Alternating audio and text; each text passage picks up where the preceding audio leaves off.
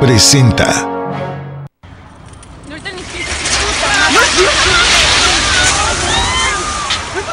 Hay experiencias que marcan la vida. Martes 19 de septiembre, 13 horas con 14 minutos, momentos después de haber realizado el simulacro conmemorativo por el terremoto de 1985. Un sismo de 7.1 grados tomaría por sorpresa la zona oriente del estado. En momentos, ya nada sería igual. Epicentro en Azochiapan. Las principales vialidades de Morelos se vieron congestionadas. Ciudadanos volcaron en busca de sus familias. Los morelenses no alcanzaban a dimensionar la tragedia socorristas, elementos de protección civil y bomberos, apoyados por voluntarios civiles, hombres y mujeres convertidos en héroes. La población se unió en el mayor acto de solidaridad en la historia del Estado, porque fueron los ciudadanos los que actuaron primero en las labores de rescate, remover escombros, recolectar víveres, apoyar en centros de acopio para levantar al Estado que había quedado a los pies de la naturaleza. El dolor y miedo quedó en la mayoría de los morelenses y el 19 de septiembre no será jamás el mismo, sin embargo, hoy sabemos que Morelos sobrevivió y está poniéndose de pie gracias al ánimo y apoyo de los ciudadanos. Hoy tenemos otra cicatriz histórica que nos recordará que podemos salir adelante. En.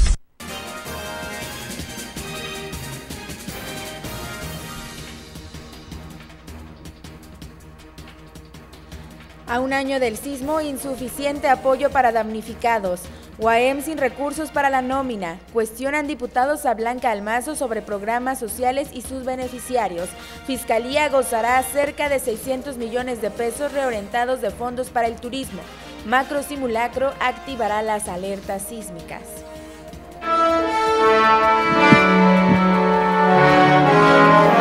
Grupo Somprosa presenta. Porque día con día se escribe la historia. Las noticias son los hechos que deja la memoria. Este es el espacio informativo líder. En serio noticias. La pasión de informar con toda la verdad.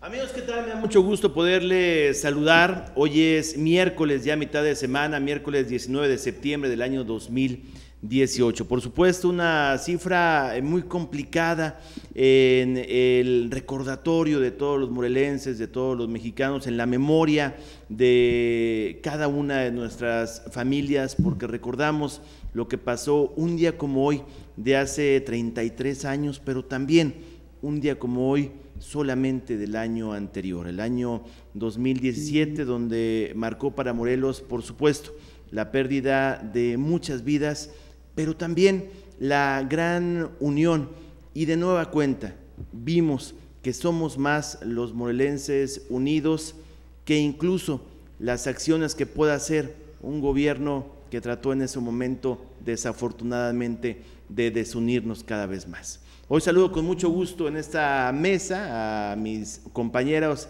eh, Laura Rodríguez. Buenos días, Laura. Hola Beto, ¿cómo estás? ¿Cómo estás? Muchas gracias. ¿Cómo están? Qué gusto saludar. Karen sí, también, gracias. Muchas gracias, buenos días. Y Gerardo Becerra, ¿qué tal? Muchas gracias, buenos días a todos. Pues hoy es miércoles, miércoles de, de platicar y también, ¿por qué no? Miércoles de recordar lo que pasó un año atrás. Eh, tenemos, por supuesto, antes de entrar al eh, asunto del sismo, el día de hoy por la mañana, eh, y para toda la gente que viene transitando la Ciudad de México hacia la ciudad de Cuernavaca, un eh, automóvil, bueno, un camión se volcó en el kilómetro número 31. 31, ¿verdad, Karen? Este, tenemos ahí las imágenes, lamentable por supuesto lo que pasó hoy por la mañana, pero hay, una, hay un congestionamiento vial muy, muy grande, entonces pues tenga mucha paciencia, no podemos decir evite la zona, más no, bien, no, no tenga se puede. mucha paciencia, ¿no? La Federal de Caminos está tomando cartas en el asunto, sí fue en el kilómetro 31, pero están desviando por Santa María las Sí. situaciones que está cerrada la circulación a la Ciudad de México. Esa es la precaución y la llamada de alerta que estás haciendo, Beto, porque mucha gente va a trabajar en este momento a la Ciudad de México, a estudiar, a diversas labores, pero sí hay que tomar en consideración, hay un problema, la federal está tomando cartas en el asunto, como mencionabas, es un tra- tractocamión acoplado a mi remolque tipo tolva. Quien conozca de esto está seguro que ya me entendió de qué se trata. ¿Quién no, ¿quién no nos quedamos igual? ¿Quién no nos quedamos, ¿Quién no nos igual, quedamos pero, igual en eh, la misma asunto? Se volteó un camión con cemento. Se volteó un trailer. se más fácil, con ¿no? cemento. Mucho Sí, más fácil. Cerrada la carretera a México eh, en este momento. Bueno, pues ahí está. Por supuesto, tomen las precauciones la gente que viene de la Ciudad de México para acá. Lo que le podemos decir es que tenga mucha paciencia para poder esperar las labores de rescate, de urgencias que se dan justo en estos momentos. Y pues bueno, nos amanecimos de la misma eh, forma, mi querido Gerardo, mi querida Laura, con un tema eh, muy complicado. Recordamos justamente a el 2006 aproximadamente, cuando el entonces candidato del PAN al gobierno del Estado, Marco Antonio Adame Castillo, se, te, se tenía que deslindar de su hermano, del apodado El Perro Adame, que tenía varios lotes de autos allá en el municipio de Yautepec, Morelos. Con una presunción de robo de autos. Ajá, con una presunción nada más, pero prácticamente se deslindó de él durante los seis años de, de su gobierno. ¿eh? Durante los seis años de su gobierno, Pero no Marco, lo vimos. Marco estaba en campaña. ¿eh? Sí, claro, Marco, claro, seguía- fue Marco Adame en campaña. en campaña, estaba en una campaña por el Claro. oriente del estado y le hicieron un llamado que su hermano había sido detenido en la mañana, ¿te acuerdas, Gerardo? Sí. Que habían Sí, detenido. sí, así es. Sí, siempre hay como que familiares incómodos, ¿no? Sí. En, en esto de la política, recuerdo mucho a Raúl Salinas, ¿no? El hermano del presidente, expresidente. ¿Quién era más incómodo o cómo? ¿Cuál Pues, de los dos? ¿O Híjole, cómo? yo. Ya, ya en ese. Ya, ¿Cómo ya en ese- ¿A quién hace? Ya en ese. Está bien, ¿Cuál ya, era ya, el ya, ya, Sí, claro. ya. Sí, claro. ahí queda, ya en sí. ese sentido ya no sabe uno, ¿no? Sí, ¿cuál de los dos era? Eh, yo creo que en el asunto del presidente electo, ¿no? De Cuautla. de Cuautla. Exactamente. ¿Qué es lo que pasó el día de hoy? Corona, Claro. eh, yo creo que sí tiene que salir a, a dar una explicación porque el delito al cual se le está de alguna manera imputando a su hermano Así es. un delito no grave, gravísimo, Muy sobre delicado. todo en el estado de Morelos, que es el delito de secuestro. Claro, tenemos ahí la información eh, para que podérselas compartir a todo el, au- el auditorio, Karen. Así es, se trata de Samuel Corona Damián, quien se dice hermano del presidente municipal electo de Cuautla, Jesús Corona Damián, quien fue detenido junto a otros tres presuntos captores luego de liberación de un hombre cautivo por siete días. Esto pues en la unidad, la unidad especializada contra el secuestro y la extorsión WEX logró la liberación de un hombre cuyos captores lo mantuvieron cautivo durante siete días en una casa de seguridad de la colonia Las Avionetas del municipio de Cuautla, al oriente del estado. El grupo especializado detuvo a cuatro presuntos responsables, entre ellos hombres que se identificó como Samuel Corona Damián, que se dijo hermano del presidente municipal electo de Cuautla, Jesús Sí. Corona Damián, por el Partido Movimiento de Regeneración Nacional Morena. De acuerdo con versiones policiales, la víctima de secuestro fue torturado mediante la quema del pecho con una plancha y arrancaron dos uñas de los pies. Entre los detenidos se encuentra la persona que negociaba el rescate y Samuel Corona. En agosto pasado, el comisionado de seguridad Jesús Alberto Capela Ibarra dijo que en la zona oriente es buscado un sujeto llamado El Ray, cuyo grupo delictivo supuestamente se dedicaba al secuestro, la extorsión y el narcomenudeo. Pues ahí está la información.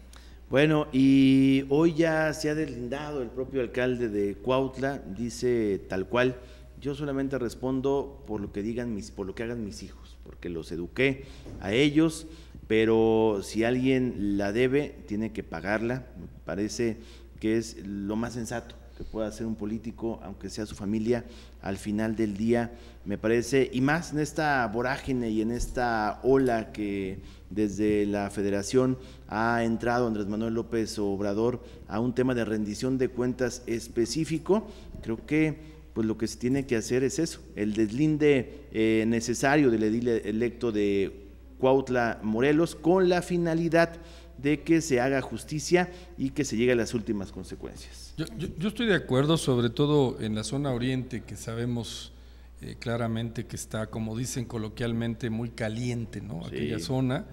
Eh, este señor hablaba de este hombre que le llaman el RAI, que pues está asolando de alguna manera toda aquella zona. No hay que dejar de vislumbrar eh, también el asunto de los colombianos. Y lo digo porque yo he estado presente en la zona oriente conversando con muchas eh, ahora sí que partes de la sociedad de, aquella, de aquel lugar. Y no está nada fácil, Beto, Laura, Karen. Yo creo que sí es importante, no solamente que la autoridad como tal en este momento, sino lo que viene, ¿no? No le pierdan, no le pierdan la vista a la zona oriente. Bueno, si me pues permites agregar, oriente, sur, norte, ¿para dónde volteas, Gerardo? En todos lados, La zona sur está muy delicada, la zona sur del estado, Amacuzac, desde Jojutla para allá, Puente, es muy delicado. Lo, que pasa es que, bueno, estamos viendo lo, que son la zona de influencias de estos eh, señores que se dedican a, no sé si llamarlos señores, ¿no? A, la delincuencia. Mm. Pero tú lo dices bien, la zona sur está de alguna manera operada por este señor que le llaman el carrete. Y en la zona oriente este señor que le llaman el RAI, ¿no? Eh, son como el Espíritu Santo, todo el mundo cree en ellos, pero nadie, los, ve. pero también, pero, también si se dan cuenta, si se dan cuenta durante este gobierno se ha invertido mucho y digo invertido entre comillados, por supuesto, en un tema de seguridad pública, en un tema de eh, de operatividad, de equipamiento a la Comisión Estatal de Seguridad Pública del Estado de Morelos y tal, parece que lo único que hicieron fue acompañar a las bandas delincuenciales del estado de Morelos, porque el mismo discurso del tema del carrete lo escuché un día como hoy hace seis años. Seis años. Oye, Beto, pero cuando dices acompañar es proteger. Cuando digo acompañar es verlos pasar. Yo no sé si proteger o no, ¿no? Me, parece que puede ser señalamientos muy graves sin conocer el tema. Como está el asunto, ¿no? Pero lo que sí lo veo como un ciudadano normal, común y corriente, es que tampoco disminuyó el tema de los índices de violencia, tampoco disminuyó el tema de la delincuencia eh, y sobre todo se ve reflejado en el miedo que hoy tenemos los morelenses, como tú bien lo dices, en ir a la zona sur del estado en ir a la zona oriente de la entidad. Hoy tenemos mucho miedo de ir y de transitar libremente por nuestro estado, algo que antes, por lo menos, yo no recordaba. ¿eh? Yo no recordaba tener miedo a ir a Macusago, a ir a otros lados, que hoy sí se tiene. Y fíjate qué curioso, hace un minuto decía la compañera Karen que se va a redireccionar alrededor de 600 millones de pesos de este fondo, el fideicomiso eh, en favor de la competitividad, el famoso Fidecom, se va a reorientar hacia la fiscalía, ¿no? Y yo pregunto, eh, ¿más dinero? O sea, más dinero. ¿Para tapar las goteras? La, verdad es que esto requiere ya cirugía mayor. Pero mayor. Súper mayor. Es que es eso, yo, lo, lo, platicamos ayer en la segunda emisión de En Serio Noticias. Me parece a mí algo sano el darle autonomía financiera a las instituciones. ¿Por qué? Porque no depende financieramente del gobierno del Estado. A mí me tocó, que se llegue a manipular, A mí, a mí me tocó ser, ser diputado local en un gobierno en donde tenían todo el poder, todo el control, y cuando se molestaban simplemente no daban la administración para pagar los sueldos. Y eso es realmente grave, porque es el control coercitivo de un poder contra otro poder. Eso me parece gravísimo. Yo sí considero que es bueno que se dé una autonomía financiera no solo a la Fiscalía, al Poder Judicial, me parece necesario, al propio Congreso del Estado, a todas las dependencias y a todos los poderes autónomos del Estado de Morelos. Pero, pero la forma en cómo se hizo y el quitarle el dinero de varias bolsitas, porque no tenían dinero ¿no? para poderlo eh, dar a esta autonomía financiera y, y poder quitar varias bolsitas hacia eh, destinarlo a una fiscalía que hoy está severamente cuestionada, es lo que me parece realmente grave, muy similar a lo que pasó cuando hace varios años ya se le quitó el 2% de participaciones federales a los municipios y se le entregó a eh, el comisionado de seguridad Jesús Alberto Capela sin ningún resultado, como lo hemos visto y como lo hemos apuntado en esta misma mesa. Ok, tienen un C5 espectacular. Espectacular. es espectacular este tema muy apantallador, perdón si es la expresión, no sé qué tan eficiente y nunca utilicé la palabra eficiente. Apantallador, sí. Fíjate Que, fíjate que es algo de lo que este nuevo gobierno va a tener que investigar, ¿no? Yo lo puedo decir como, como vocero de la coordinadora morelense Movimiento Ciudadano, nosotros tenemos ya información de todo lo que se invirtió aparentemente ahí. La barda perimetral, se van a ir de espalda solamente lo que costó la barda perimetral. Eh, y de cómo se vinieron. Es que tenían que hacer un búnker de protección. Para ellos. Por eso. obviamente. Yo creo que más bien como tú lo bueno. Aquí estamos en un bello escenario. La gente que nos ve ve que estamos en un escenario. Bueno, yo pienso que mucho el C5 es un escenario. Y si vemos a este señor Capela, que afortunadamente para todos los morelenses ya, no está, ya se fue, siempre se ponía en la parte delantera de estas eh, cámaras y televisiones que tenían en el C5. Se va un poquito antes de la comparecencia en el Congreso. Pero al final fue solicitado que fue un circo total o está haciendo un circo total. Es que todo ha sido un circo, Laurita. de verdad. este gobierno como tal, y bueno, no, no, se me quita lo opositor ni, se me quitará, es un circo. El, gobierno de Graco Ramírez ha sido un circo. Y estamos pagando las, consecuencias. Déjenme hacer una pausa en este espacio de noticias rápidamente. Saludo, por supuesto, con mucho gusto a la gente que nos lee a través de Facebook, Potovsky, Janet, gracias, gracias por siempre estar al pendiente, Pancho Martínez, Carlos, Pancho, eh, Jorge Payares, gracias, regidor, eh, Antonia Ramírez, muchas gracias, eh, al buen Oscar Cano también un saludo, Pati Linares, Oscar dice, buen día, se tiene que hacer un gran esfuerzo por mejorar la seguridad, ciertamente. Josefina Padilla también, buenos días y les, les pedimos por supuesto que nos envíen sus comentarios y sus mensajes. De vuelta, vamos a recordar lo que ha pasado en torno al sismo, pero ¿saben qué? Me parece que el enfoque que hoy le tenemos que dar es qué es lo que se ha hecho, pero sobre todo, qué es lo que se ha dejado de hacer a un año de distancia del 19 de septiembre del año 2017. Pausa y volvemos. Vamos a una pausa y continuamos con más información. En serio noticias, la pasión por informar con toda la verdad. De las lunas y ahora nos vamos con la luna de octubre. En el velero de Tía Licha nos ponemos muy románticos. Por las mañanas, enchilada, cecina, rachera. Por la tarde, camarones, cócteles, mojarra, los caldos de la tía. El velero de Tía Licha en Buenavista frente a la Procu. La instancia de la mujer de Emiliano Zapata, además de prevenir la violencia de género, brinda asesoría jurídica y atención psicológica a mujeres víctimas de violencia. Si así lo requieres, ponte en contacto con nosotros al 101 2670, extensión 117 y 120. En Emiliano Zapata no existe justificación, no ejercemos violencia. Gobierno Municipal 2016-2018. Unir para crecer.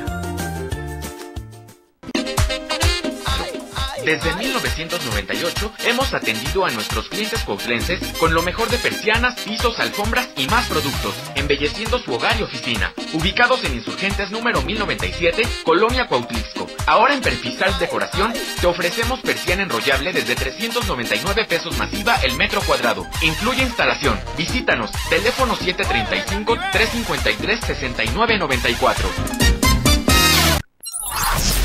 En Serio Noticias. Ya continuamos con más información. En Serio Noticias.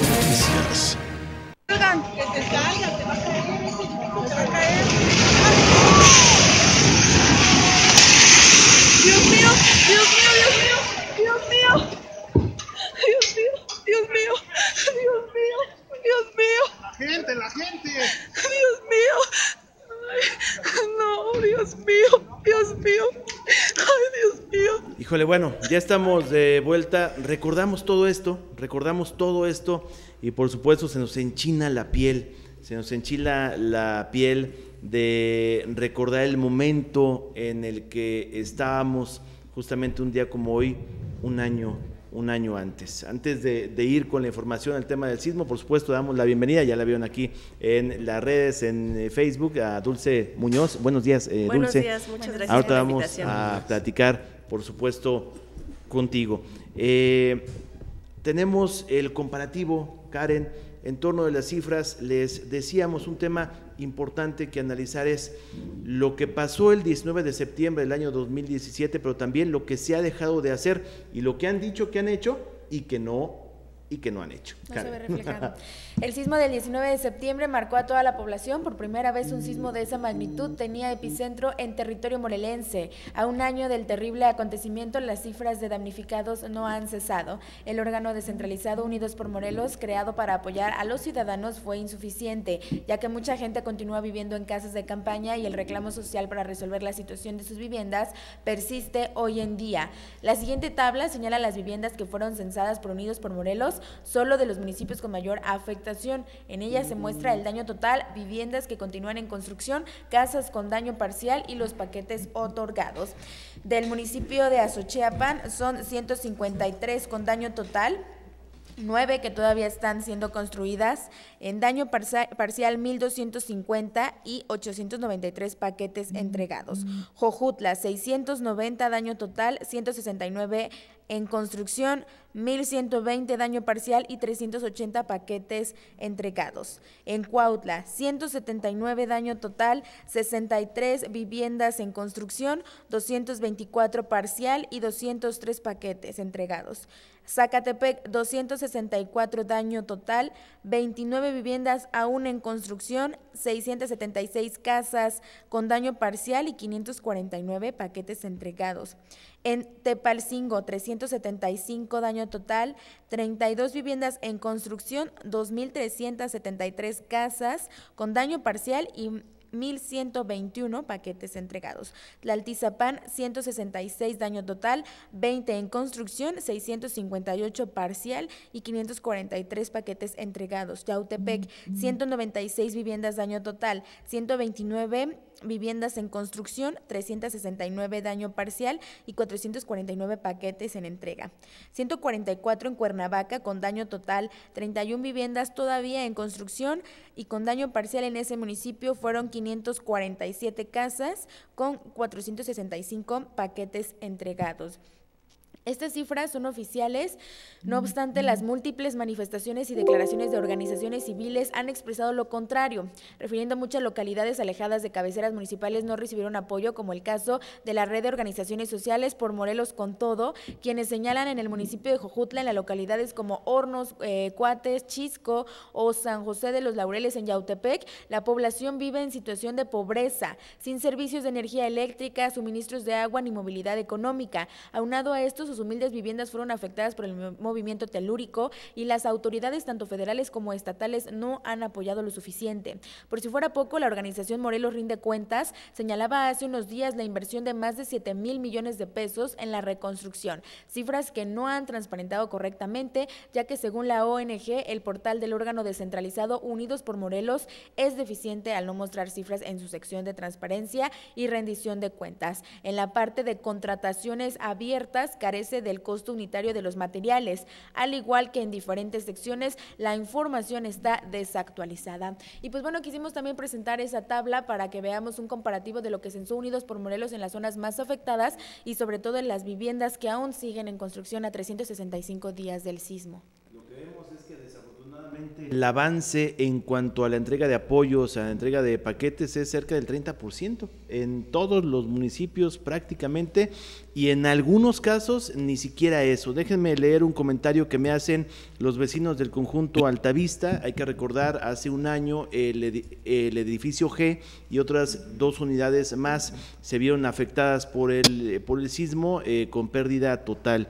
Me mandaron un mensaje para comentarle que en el conjunto Altavista, en el edificio G, ya se tienen todos los trámites hechos y Ahora resulta que eh, tienen todo parado los de Unidos por Morelos. Ya tenemos eh, la fundación, ya tienen el programa de Unidos por Morelos. No han ido a darles el convenio que prometió y comprometió Alexis Ayala y que dijo en su rueda de prensa el lunes que ya les había dado el convenio a todos cosa que vemos y aquí está el comentario que nos hacen del edificio G que es total eh, total mentira lo que lo que se Tengo dos comentarios al respecto, si me permites. Por dos preguntas. Cuando dicen paquete, ¿a qué estamos hablando? Y la otra, que sean cifras oficiales no quiere decir que sean reales, con todo respeto. Bueno, ni tanto. Sí, claro, pero- no quiere decir que sean reales, Gerardo. Ese, el asunto no quiere decir que sea. A ver, Laurita, vuelvo al tema. Yo he estado también muchas veces en Jujutla.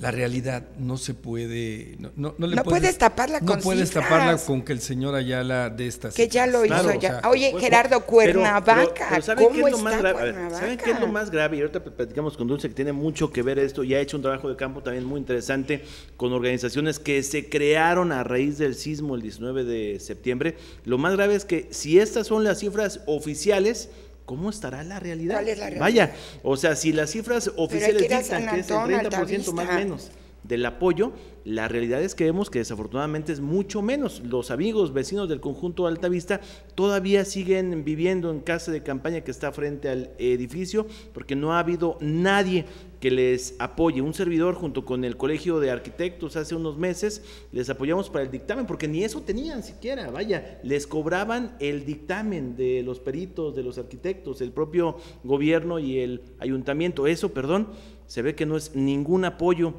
hacia los vecinos y si esto pasa en Cuernavaca, ¿qué no pasará en los municipios alejados de la ciudad? Déjame decirte, Sí. en, en Jojutla estuvimos en la zona de la Alameda y la zona cero, que es lo más terrible que puedas ver. Para colmo, hubo gente, delincuentes que se aprovecharon de esto. La rapiña terrible, hubo un arquitecto de apellido Bolaños, lo digo, así me lo dijeron las gentes. Nada que ver con el Nada, candidato del no, PAN. no, simplemente Bolaños, eh, que utilizó el dinero que le habían dado a algunas eh, fundaciones Ay, no, para supuestamente lamentable, remodelar y hacer no cosas creer. con sus casas, y el señor auténticamente se fue, Desapareció. desapareció. Siete u Oye, ocho fue algo no así como las ser. despensas. No, sí puede Bueno, ser. el tema Ese es un, es- situaciones- ese- ese es esos un son tema, Laurita, que duelen, es lo más doloroso Es un tema, son que hay. cosas que eh, duelen y dan coraje, pero déjame decirte, estamos a un año hablando de lo mismo. ¿Y qué ha pasado? Yo te voy a decir, a que, un yo te voy a año, decir qué es lo que va a pasar, Y Laurita. brincamos, gritamos, nos enojamos. Yo me acuerdo meses y meses hablar de lo mismo. ¿Y qué ha pasado? Yo te voy a decir lo que va a pasar. ¿Qué va a pasar, Lo que va a pasar es que se va a investigar a todas estas personas, que no tengan la menor duda. Es algo que duele. Vamos a llegar hasta el fondo de toda esta situación. Porque si estos señores, y, y- y olvidémonos de los apellidos, no quiero ni hablar de los apellidos, piensan que, ¿Que va a los haber morelenses impunidad? so- somos tontos o somos torpes, están totalmente equivocados. Vamos al fondo de todo esto a ver exactamente. No se nos olvide que este señor, eh, el que todavía gobierna este estado, redireccionó casi 1.800 millones de pesos del Morebús, supuestamente para entrarle a la reconstrucción de, Y de se Jojutla. pidió un nuevo crédito también. Y se pidió un nuevo crédito y sé que Banobras 2.800 apoyó millones de pesos solicitados, 250 millones de pesos, ¿Dónde tengo el informe que Banobras apoyó para este asunto. O sea, son dinero, dinero, dinero y Que dinero. Que no se, Oigan, no se sabe dónde está. Bueno, a raíz, a raíz de esta tragedia el año pasado se crearon un grupo de asociaciones de gente valiosa de Cuernavaca, de gente valiosa de Morelos, que ha hecho un trabajo muy importante de campo en la calle, hay que decirlo con todas sus letras, sin apoyo gubernamental. Eh, las asociaciones por Morelos con todo. Me queda Dulce Muñoz, me da mucho gusto poderte saludar. Muchas gracias por la invitación y aquí estamos. Soy portavoz también de todas las organizaciones sociales que conformamos la red de Por Morelos con Todo. Somos 18 organizaciones sociales que efectivamente ya cada organización social venía trabajando desde su objeto social, des- desde, sus actividades, durante varios años en el Estado y también en otros estados. Pero derivado de esta gran tragedia que sacudió nuestro Estado, pues decidimos unirnos, decidimos organizarnos, porque veíamos muchos esfuerzos, pues que todo el mundo estábamos desbordados, ¿no? donando, atendiendo a las comunidades, a las casas y demás, pero también eran esfuerzos aislados. Sí. Entonces decidimos como asociaciones civiles pues sentarnos, platicarnos, orga- organizarnos y decir hay que focalizar esfuerzos, ¿no? Porque bien dicen que el que mucho abarca, poco aprieta. Así es. Entonces, pues decidimos apoyar y adoptar una comunidad. Esta comunidad se llama Chimalacatlán, está justamente a dos horas de aquí de Cuernavaca, está en el municipio de Tlaquiltenango, está a una hora de Tlaquiltenango. Y pues esta comunidad es una muestra de cómo están todas las otras comunidades de la misma naturaleza. Son alrededor de 700 habitantes y digo alrededor porque ni siquiera el INEGI tiene un dato exacto de la población que vive en esta comunidad. Nosotros hemos hecho censos de manera independiente Y bueno, pues fueron eh, afectadas 30 casas parcialmente y daño total tres casas. Eh, la gente sí recibió del Fonden el censo, su calcomanía y fueron y revisaron sus casas, pero tristemente únicamente apoyaron a tres casas con 15 mil pesos. Solamente a tres y les dieron 15 mil pesos. ¿Para que hicieran su casa otra vez? Para las remodelaciones y para las casas de, este, de pérdida total. Por supuesto eso a la gente pues no le alcanzó, pero para nada y pues ahorita están buscando alternativas de manera propia para poder reconstruir sus casas. Nosotros como entendemos que, el sismo no nada más sacudió físicamente al Estado, sino lo sacudió emocionalmente, lo sacudió económicamente, nosotros entendemos que la reconstrucción tiene que ser integral.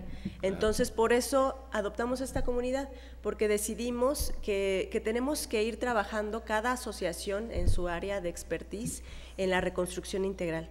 Entonces, hemos llegado con talleres desde resiliencia, desde reconstrucción emocional, prevención también de violencia, porque también se generan este, expresiones de violencia en las familias, en los niños, en los jóvenes, hay casos de desesperación de, bueno, ¿y qué vamos a hacer ahora, no? Hasta también, por supuesto, movilidad económica, porque ellos, como todas las comunidades de alrededor, estoy hablando de Hornos, Valle de Vázquez, Parro Blanco, etcétera, pues vendían tradicionalmente sus productos, sus animalitos y demás en Jojutla y en Traquiltenango. Y obviamente, porque los mercados se, vieron destruidos, pues ya no tenían dónde, dónde vender y siguen así. Entonces ellos lo que nos piden no es que les demos dinero, que les llevemos cosas. Sí lo agradecen, pero dicen, ayúdenos mejor a vender nuestros productos. Vengan, por favor, conozcan nuestra comunidad, que estamos muy lejos, y mejor consuman lo local, consúmanos a nosotros. Y ellos hacen mole, ellos hacen galletas, las señoras bordan hermoso, por supuesto que siembran eh, calabaza, semilla, la, la, cultivan de ahí de la calabaza, arroz, frijol, sorgo, y nos piden que vayamos a consumir lo que ellos hacen. Y así les ayudamos a la movilidad económica. ¿Y cómo llegamos, Dulce? ¿Cómo llegan? ¿Físicamente quieren ir a Chimalacatlán? Sí, vamos a ir a comprar Pues eso sería una cita entonces. Ese es ya un compromiso que aquí lo vamos a... hacer. Pues, ¿Cómo llegamos para comprar? Pues miren, primero hay que llegar a Tlaquiltenango y de ahí literal hay que preguntar, sí, porque además no, hay, no hay señalamientos. Para Valle de Vázquez, de Tlaqui a Valle de Vázquez, que yo creo que es un poquito más conocido. cuando llegues a Pero hay que apoyarlos. Es que, es, cierto, a mí me, tocó ir, ya, ya nos vamos al corte casi, a mí me, me, tocó ir a varias comunidades, yo creo que ustedes de la misma forma, ah, en donde teníamos que cruzar prácticamente eh, barrancas, bueno, llegar me tardé un día en, llegar cerca de cinco horas, o sea, a una en comunidad. Lo que te perdías y dabas la vuelta. No, sí, aparte, porque hay que, hay que dar muchas vueltas. Entonces, pero hay que pensar en ellos. Así es, porque son morelenses. Oye, eh, la pregunta obligada. ¿Ha habido apoyo gubernamental para ustedes, para, para ellos mismos? Vaya, ¿se ha visto el apoyo del gobierno o no? No, a las asociaciones civiles no hemos tenido ningún tipo de apoyo del gobierno. Hemos tenido apoyo del sector empresarial y por supuesto ha sido generosidad de las asociaciones, porque cada quien hemos puesto de nuestro dinero con mucho corazón y con mucho esfuerzo y hemos hecho eventos de recaudación de fondos. Ahí nos ha apoyado mucho la Cámara de Canacintra y también la Cámara de Canaíbe.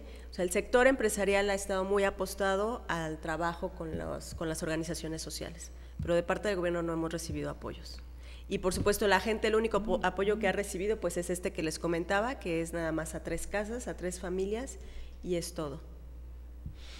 Bueno, pues ahí está. Mi, mi querida Dulce, te agradezco mucho que estés con nosotros y por supuesto te reconocemos a ti, a todas las asociaciones, las agrupaciones que tú representas, que al final del día creo que nos vemos reflejados todos, porque hoy, y no me van a dejar mentir, hemos visto eh, con lo del sismo que somos más los mexicanos buenos que los malos, pero que aparte con buenas ideas, con buenas, eh, buenos sentimientos hacia los demás, hacemos mucho más que un gobierno deshonesto y desorganizado. Así es.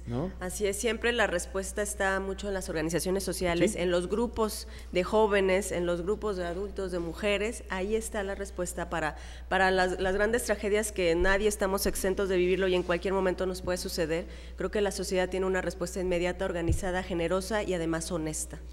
Yo, quiero, eh, ahora sí que hacer eco de lo que usted dice, Dulce. Nosotros como coordinadora, eh, en esta época tan difícil de hace un año, nos aliamos con los Scouts de México y de aquí, desde aquí mi reconocimiento y mi corazón para ellos. no se imagina el apoyo que recibimos en los centros de acopios de la coordinadora y lo que nos ayudaron. A los scouts, a los del pentatlón, también, vaya, todas las organizaciones. A los rescatistas, voluntarios, sí. Fue maravilloso, maravilloso. en aquel entonces que llevaba una latita de atún porque tenía dos en su casa. ¿no? Uno recuerda eso, recuerda los albergues. Aquí mismo en que sí, claro, por supuesto que se pone la piel muy, muy chinita. Vamos a la pausa. Gracias, Dulce. Muchísimas gracias, por acompañarnos. Volvemos porque es inminente la huelga en la máxima casa de estudios en el estado de Morelos. Hoy les tenían que pagar su cena. ¿Y saben qué? La lana simplemente no llego. Vamos a una pausa y continuamos con más información. En serio noticias, la pasión por informar con toda la verdad. Desde 1998 hemos atendido a nuestros clientes coplenses con lo mejor de persianas, pisos, alfombras y más productos, embelleciendo su hogar y oficina. Ubicados en Insurgentes número 1097, Colonia Cuautlisco. Ahora en Perfisal Decoración te ofrecemos persiana enrollable desde 399 pesos masiva el metro cuadrado. Incluye instalación. Visítanos. Teléfono 735 353 6561 la instancia de la mujer de Emiliano Zapata, además de prevenir la violencia de género, brinda asesoría jurídica y atención psicológica a mujeres víctimas de violencia. Si así lo requieres, ponte en contacto con nosotros al 101 2670, extensión 117 y 120. En Emiliano Zapata no existe justificación, no ejercemos violencia. Gobierno Municipal 2016-2018. Unir para crecer. De las lunas y ahora nos vamos con la luna de octubre. En el velero de Tía Licha nos ponemos muy románticos. Por las mañanas, enchilada, cecina, rachera. Por la tarde, camarones, cócteles, mojarra, los caldos de la tía. El velero de Tía Licha en Buenavista frente a la Procu. Solo Comunicación Total tiene impresión con la más alta calidad. Venta de lona impresa, vinil y micro perforado por metro cuadrado. Renta de vallas LED y vallas móviles posteriores en transporte público y espectaculares. Llámanos 311-2613. Si de publicidad se trata, Comunicación Total es tu mejor opción. Una empresa más de Corporativos Son Pro. En serio noticias. Ya continuamos con más información. En serio noticias. Bueno, ya estamos de vuelta, eso es en serio noticias, por supuesto recordando y seguimos recordando, hoy habrá muchos simulacros eh, en punto a la una de la tarde, ¿no? Aproximadamente una catorce, ¿no? A las 10 también inician en las escuelas. A las 10 de la mañana también, entonces por supuesto hay que participar en los simulacros, no hay que alertarse, pero sobre todo lo que tenemos que hacer es eh, generar un aprendizaje en nuestros hijos, ¿no? que verdaderamente ellos puedan aprender a el tema de la protección civil, aprender a cuidarse y aprender a cuidar al prójimo. Eso es fundamental. Oye, digo, más allá de la creencia espiritual de cada quien, que yo respeto, por supuesto, a las 12 del día hoy en Jojutla hay una misa. Hay una misa oficiada directamente por el obispo de Cuernavaca, Monseñor Castro Castro que convoca también Juan Ángel Flores, el, alcalde electo, y el propio gobernador electo Cuauhtémoc Blanco Bravo. Muy bien, pues ahí está. Para todos los que quieran asistir hoy a las 12, la misa con el Monseñor eh, Ramón Castro Castro. Tenemos en la línea telefónica al rector de la máxima casa de estudios en Morelos, Gerardo Urquiza. ¿No? ¿A quién tenemos entonces? Díganme porque entonces no sé, pero bueno, vamos a hablar, entiendo, de la UAM, ¿no? Ah, el doctor Juan Salgado Brito es su comentario, claro. Doctor, me da gusto poderte saludar. Buenas tardes, miércoles. ¿Cómo estás? Buenos días, buenos días y buenos días al brillante y eh, estelar equipo que les acompaña. Buenos días, auditorio. Hoy se cumple un año del sismo que estremeció a Morelos y otras partes del país y que sacudió las conciencias aquel 19 de septiembre de 2010 Justamente cuando recordábamos la tragedia del temblor, también de un 19 de septiembre de 1985. Fue después de un simulacro de protección civil cuando nos sorprendió la realidad. Y fue Morelos uno de los estados más afectados, ya que el epicentro del temblor fue en los límites de Puebla y nuestra entidad, sufriendo daños todos los municipios, pero sobre todo Jojutla y varias localidades del sur, sur poniente, parte oriente y altos de Morelos. Jamás imaginamos que nuestro estado fuera zona sísmica, y menos que fuera a suceder eh, un fenómeno de tales proporciones. Ante esto, hay que reconocerlo, reaccionaron y se movilizaron de inmediato la población en general y los gobiernos federal, estatal y municipales.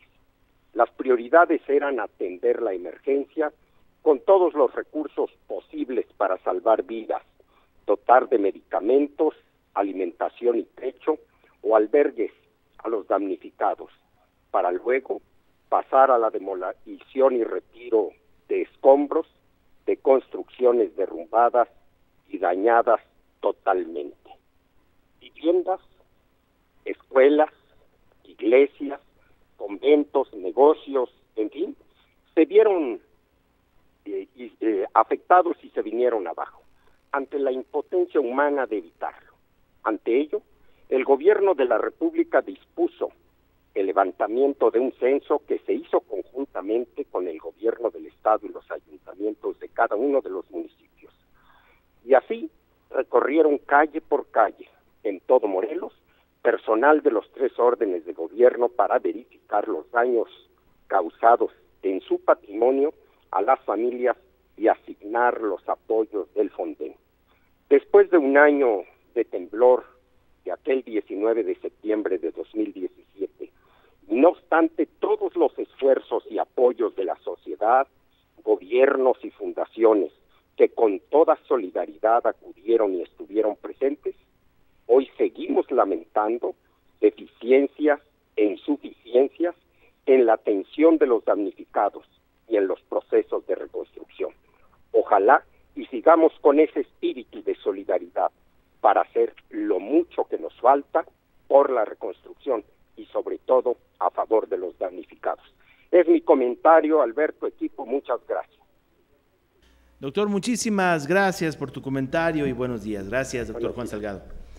Híjole, vemos las imágenes y de veras se pone la piel muy, muy chinita, Gerardo, Laura. ¿Dónde estaban ustedes en el, en el sismo? La tarde de hoy, un año En una temblorina espantosa. Digo, justo ese fue terrible. ¿Dónde estabas? Fíjate que aprendí eh, eh, de hace un año en la casa, en tu casa. Fíjate que lo que aprendí, eh, yo viví lo del 85 hay muchos que estaban muy chiquitos en ese entonces, pero lo que aprendí del 85 fue que sí existe el terror, que sí existe el pánico y la otra aprendimos la cultura de la prevención, no la teníamos, no existía, no, está, está temblando, espérate tantito, está yo en la Ciudad de México, está temblando, espérate tantito, ahorita se pasa, pero a partir de eso vino toda una cultura diferente. Una semana antes tembló fuerte en el Istmo, acuérdense, en Oaxaca. ¿De hace un año estás hablando? Exactamente, ah, de hace un el año. 7, el 7. Y, eso debió de haber puesto a todos como que en alerta. Bueno, y el simulacro que tuvimos un poquito antes, tienes un simulacro de, aniversario de 32 años del 85 y de repente tienes otro simulacro, pues vuélvete a salir, que yo estaba, yo estaba en mi oficina ahí en Avenida Morelos entonces salimos de ahí, salimos de ahí, lo primero que ves la barda tirada ahí de las mañanitas, de la zona del Calvario y todo esto. Y, fíjense que uno de los vecinos, muy, muy amablemente, ¿no? yo no llevaba carro, no sé por qué había mandado mi carro a otro lado. Que tiene como un mes que apenas quitaron el coche que le había caído ah, de encima, ¿eh? apenas, apenas. Uno de los vecinos me dice, diputado, tenga mi carro para que vaya a ver a sus hijos, yo no lo necesito, aquí estoy con mi familia, no sé qué.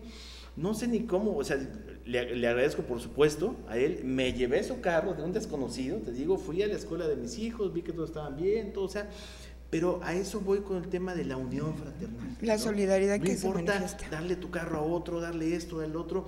El tema es ayudar a los demás. Y yo creo que eso lo, lo vivimos muy bien hace un Lo año. sentimos muchísimo. Exacto. Donde de verdad nos unimos, sobre todo porque también yo recuerdo, eh, fue un martes, un martes el año pasado, el fin de semana próximo, fuimos a, a pueblos así de Azuchiapan, rancherías muy alejadas, y me sorprendía mucho porque nos regresaban las camionetas porque decía la gente, ya tenemos apoyo, ya no necesitamos, vayan mejor a otras partes y allá dénselo, de verdad, nos sobró mucho apoyo ese día y, y ellos nos referían, guárdenlo por favor porque en diciembre ya no se van a acordar de nosotros, en enero de este año ya no se van a acordar de nosotros, entonces por favor guárdenlo y tráiganlo cuando lo vayamos a Y así necesitar, fue, Karen. porque va a llegar un momento en que ya nadie nos va a dar nada y ya no vamos a tener nada. No, yo tuve en el caso de la coordinadora apoyos maravillosos de empresarios que, que fueron notablemente generosos, eh, Beto, Laura, Karin. La solidaridad fue terriblemente buena, pues eh, yo estaba en la oficina también leyendo un documento solo cuando empezó aquella agitación terrible. Salí a lo que es la calle de Laurel, ahí está su oficina y en la esquina está una- un colegio Lowry, Lowry y, y de verdad a grito, pelado, gritándole, en mi caso, sálganse, este, salieron todos los Y vecinos. ahí se cayó una cúpula, se Eh, lastimó mucho una cúpula, sí. El caso, bueno, estoy muy cerca de la catedral, la catedral de, de Cuernavaca muy lastimada. En fin, el, el terror fue, fue muy fuerte. De y la esa- solidaridad, pero la solidaridad, insisto, Impresionante. lo superó. Fíjate que tuve yo oportunidad en la noche, cuando se cayó la latino, hicimos comida para salir, no, no latas, sino preparamos sándwiches, que comida fría para la gente que lo necesitara, y llegamos y nos dejaron pasar a la latino esa misma noche. No me da pena decirlo, yo lloré ahí de ver el edificio caído, pero con las manos, quitando piedras la gente, por Dios, es, esa es la imagen que se queda uno, la gente solidaria ayudando y de- con esas manos de tierra tomaban el sándwich no para comerlo, sino devorarlo por el cansancio y el agotamiento que tenían. De verdad que es para novelas, historias y desde aquí agradecimiento, nuestro corazón a todos aquellos que hicieron algo, porque son los héroes anónimos, Karen decía en esos todos, héroes sin capa, ¿no? Hace un momento todos. hablabas de tu trabajo, pero es impresionante. Así es. Bueno, vamos a hacer una pausa. Se va, les digo, ¿no? Cuando uno se la pasa bien, se la Sí, nos estamos el tiempo se divirtiendo así, pasa pero estamos trabajando. Oye, pero hacía referencia de la universidad también. Sí, nada más, después del corte ya vamos a platicar el tema de la universidad, porque es largo el tema. Saludamos con mucho gusto a Yuriana Lázaro, que nos manda un saludo aquí, a Hugo Enrique Hernández, saludos, a Regina, saludos también, a Abel Cid, saludos, Oscar Cano, una gran persona dulce, manda saludos, Fabiola Vargas, saludos, Carlos Fraga, saludos, Candy Granchester dice, es triste recordar un año del sismo, pero más triste darnos cuenta que nuestras autoridades no han hecho nada, como ellos también no les importa la gente, es eh, de admirar que la iniciativa privada ponga el ejemplo. Carlos Fraga, buenos días. Eh, Beto, saludos a Gerardo Becerra, a Juliana Lázaro, saludos a don Juan Salgado también, saludos a todos. Eh, Carlos Fraga, por favor, dile al señor Gerardo que tenemos, ya se están cobrando, ¿es cierto? que tenemos la información del Parque Chapultepec Sí, claro. para llevársela donde nos indique. Mucho gusto, Fraga. con mucho gusto, Carlos. No, no, bueno, pues si debo, si debo pago. Yuriana Lázaro Morelos, somos uno antes y otro después del sismo, claro. Muchos eh, años pasarán para su reconstrucción, mucho que hacer. Eh, Maricruz, saludos. César Montalvo, saludos. Chacho Matar, saludos, mi querido Chacho. Rubicel Vázquez Mendoza, saludos. Y Maricruz también. Gracias. Saludos a Gerardo, dice. Y, y uno también, fíjate, a mi querido y viejo amigo Edgar Vallado. Ah, muy bien. Ahí está también. Saludos a Edgar. Saludos, saludos. Muy bien, vamos a hacer una pausa. De vuelta platicamos del tema de la máxima casa de estudios en el estado de Morelos. Vamos a una pausa y continuamos con más información. En serio noticias, la pasión por informar con toda la verdad. La instancia de la mujer de Emiliano Zapata, además de prevenir la violencia de género, brinda asesoría jurídica y atención psicológica a mujeres víctimas de violencia. Si así lo requieres, ponte en contacto con nosotros al 101 2670, extensión 117 y 120. En Emiliano Zapata no existe justificación, no ejercemos violencia. Municipal 2016-2018. Unir para crecer. Desde 1998 hemos atendido a nuestros clientes cuautlenses con lo mejor de persianas, pisos, alfombras y más productos, embelleciendo su hogar y oficina. Ubicados en Insurgentes número 1097, Colonia Cuautlisco. Ahora en Perfistal Decoración te ofrecemos persiana enrollable desde 399 pesos masiva el metro cuadrado. Incluye instalación. Visítanos. Teléfono 735 353 6561 Instituto Octavi Fuyat, primaria y secundaria desde las 8 de la mañana. Contamos con dos turnos, matutino y vespertino. Además, horario extensivo sin costo extra para madres que trabajan. Las cuotas son módicas y los grupos reducidos. Estamos ubicados en Avenida Cuauhtémoc, esquina con Guanajuato, Colonia Quintas Marta. Teléfono 318-0129, 318-0129. De las lunas Y ahora nos vamos con la luna de octubre. En el velero de Tía Licha nos ponemos muy románticos. Por las mañanas, enchilada, cecina, rachera. Por la tarde, camarones, cócteles, mojarra, los caldos de la tía. El velero de Tía Licha en Buenavista frente a la Procu. En serio noticias. Ya continuamos con más información. En serio noticias.